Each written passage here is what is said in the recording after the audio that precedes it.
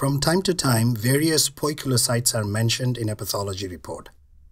Poikilocytes are abnormally shaped red cells. One of the most common types of poikilocytes are sickle cells. The significance of this cell type is easy to understand.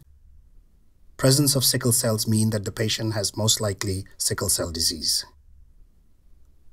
If there is no previous diagnosis, the next step is to order hemoglobin electrophoresis.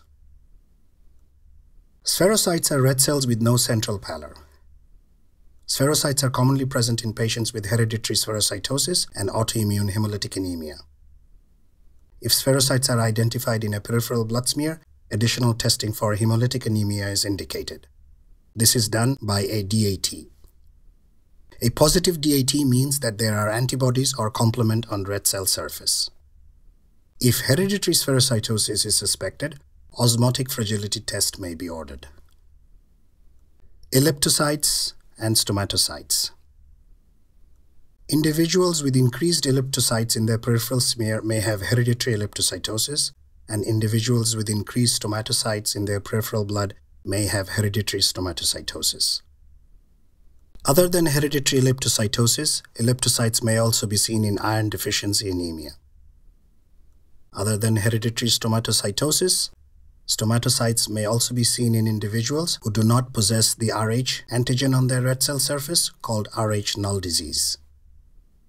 The presence of teardrop red cells may imply bone marrow infiltration, for example due to bone marrow fibrosis called myelofibrosis. In such cases, there may also be immature red cells and white cells in the circulation. This condition is called leukoerythroblastic blood picture. Let us now move on to spiculated red cells. Spiculated cells describe a variety of cells all with spicules.